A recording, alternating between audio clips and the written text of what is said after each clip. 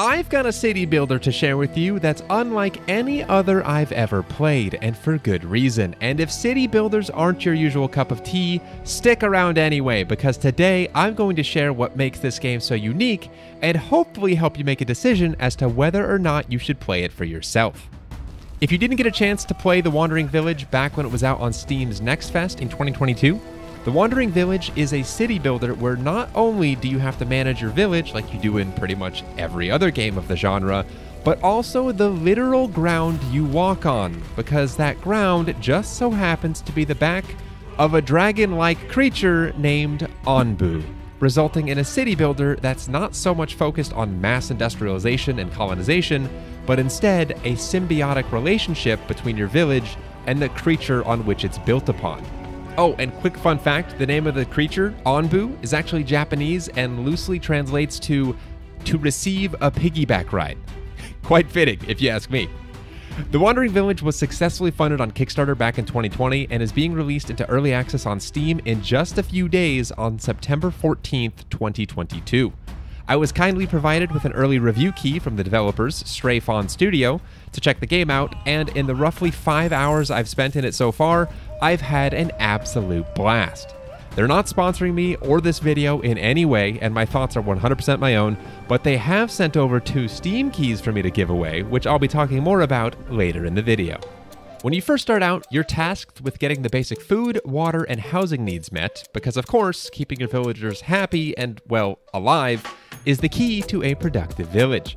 To build these basic items, resources are required, of course, but thankfully, Onbu has a bountiful supply of rocks for stones and trees for wood scattered all across its back for some reason. Or so it seems. As you continue to grow and expand your village, you'll eventually get to a point where the resources readily available on Onbu itself aren't enough, at which point you'll have a few options. You can employ researchers to grant access to the research tree, allowing you to unlock sawmills and quarries to take advantage of the large stumps and boulders on Onbu's back that can't be collected by hand. But eventually, even those too will run dry. In addition, building a scavenger hut will allow you to send adventuring parties into the surrounding environment to collect all sorts of resources, including wood, stone, sand, iron. They'll even come across the occasional group of wanderers, which you can then bring back to increase your population. Because in the Wandering Village, your villagers cannot reproduce, nor can they die, at least not from old age. You can also randomly come across wanderers as Onbu travels, naturally resulting in an ever growing population, if, that is, you choose to allow them on board. In addition to the houses that you'll need to build for your expanding population, there are 43 different buildings that can be placed down, and only a few of those, namely houses and storage options, are upgraded versions of each other. The remaining 35 plus buildings all have unique functions that all play a vital role in your village's longevity. And as far as I can tell, there's no limit in how many of each you can build. That might sound a bit overwhelming, but the game's tutorial, which I highly recommend playing with for the first time, does a fantastic job of explaining not only what to build and when, but more importantly, why. There are even a few buildings that have to be built in a specific location, which, keeping in mind that we're building on the back of a living creature, makes total sense.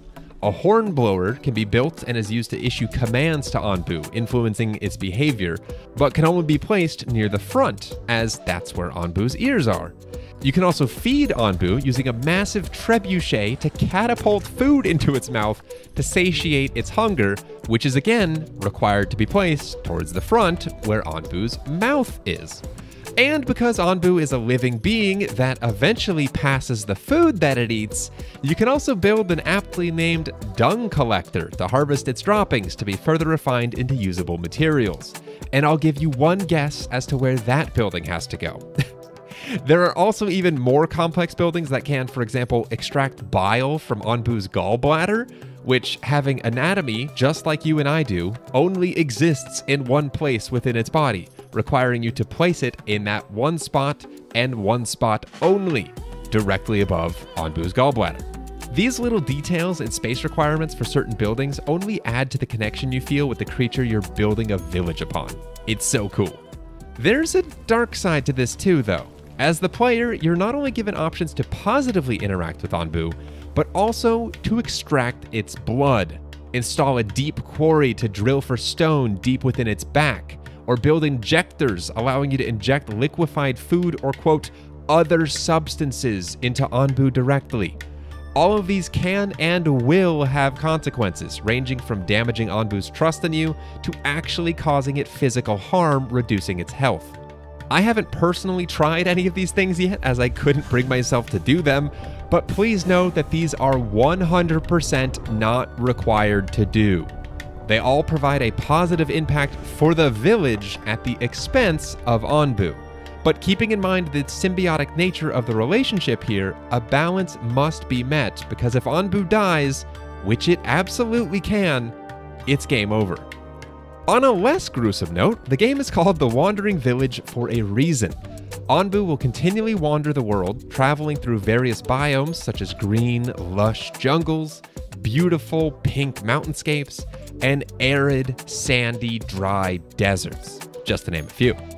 Each biome will offer different resources for your adventuring parties to scavenge, be that wood in the jungle, stone in the mountains, sand in the desert, and so on, as well as different temperature, humidity, and toxicity levels, which all play an important role. Temperature has the biggest impact on your crops, with each crop having preferred temperature ranges, indicated by this colored bar here. Green being the optimal 100% growth speed, yellow being less so, growing at 60% of that growth speed, gray being far from ideal, resulting in no growth whatsoever, and red being absolutely unlivable for the crop, meaning your crops will die and start to decompose. As a result of this, a bit of micromanaging is required to ensure you're growing the right crops at the right times, depending on the climate. But luckily, it's super quick and easy to change that up on the fly. Humidity will also affect how well your air wells function, which automatically extract water from the air to be used for farming. This scale ranges from 0 to 200% efficiency, meaning ample water storage will be a huge help in getting through arid areas like deserts, which will result in zero water being collected, as will growing cacti, which is another water source alternative to air wells. And lastly is the toxicity level, which not only differs by biome, but also from air to ground. If Onbu is traveling on foot, the air toxicity is what plays into effect. But if it is lying down or sleeping, then contact with the ground means that the ground's toxicity will come into play. All of this affects how quickly Onbu's poison level rises, resulting in health loss if it gets too high. Thankfully, though, there's plenty of ways to interact with Onbu, including to decrease its poison level. After building that horn blower we talked about earlier, you can instruct Onbu to lie down, walk, or run. All of these can be used in conjunction to help move Onbu along at a better pace. Why would this be helpful though? There are some roaming bands of wanderers, for example, that, if intersected on Onbu's path, will be willing to join you. So getting there early maybe and instructing Onbu to lie down or asking Onbu to run to catch up with them are just two ways of trying to accomplish this. These can also be used to avoid some natural environmental disasters. More on this in a bit. Additionally, you can also research the ability to command Onbu to sleep or to eat, giving you even more control, as well as attempt to tell it which way to go when you come to a fork in the path you're traveling on. With all these commands, however, Onbu isn't guaranteed to listen to you if it doesn't trust you. By building an Onbu doctor, however, your villagers can not only cure Onbu of poison, but also heal it over time and even pet it to slowly increase its trust in you. How adorable. And through the feeding trebuchet, you can not only feed it food to decrease its hunger, but also give it laxatives and constipators, influencing Onbu's digestion speed, but also the rate at which Onbu defecates, which might sound silly, but if you have a massive farm struggling to keep your large population alive, Adding fertilizer, which comes from Onbu's dung, can help speed up your crop's growth. Everything has a purpose.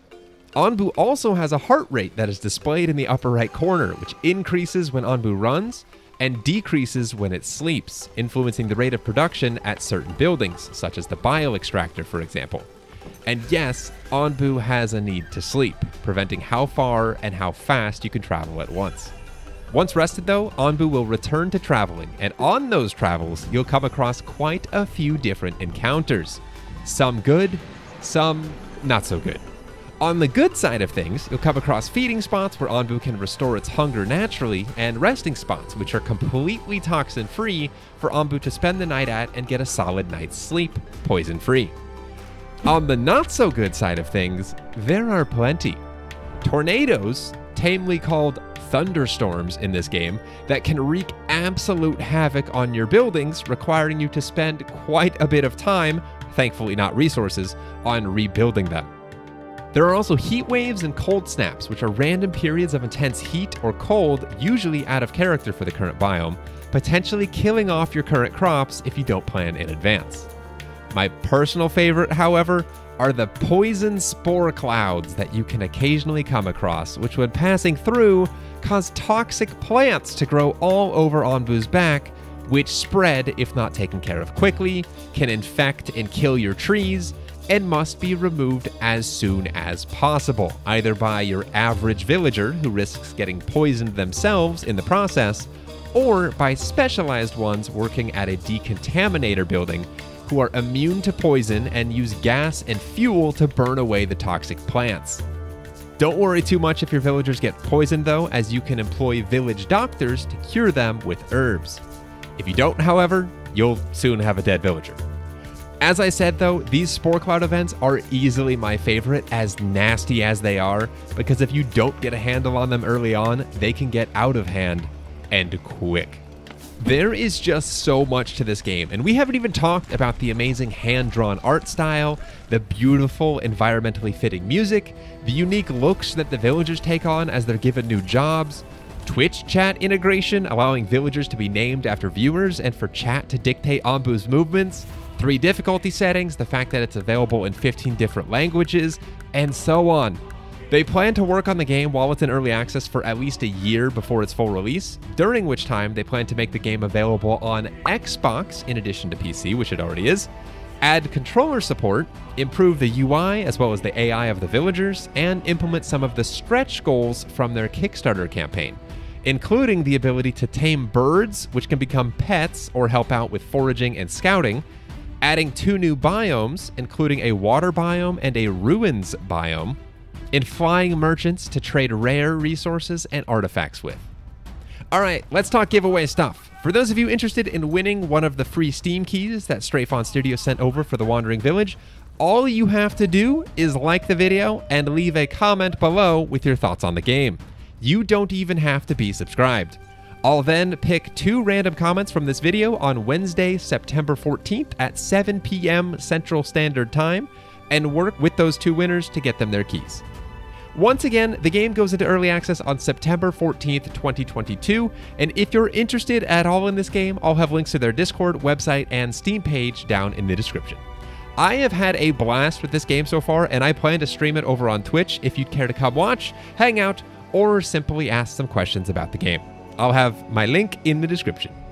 Thank you all so much for watching, though. I really hope you enjoyed, and I hope you have a wonderful rest of your day.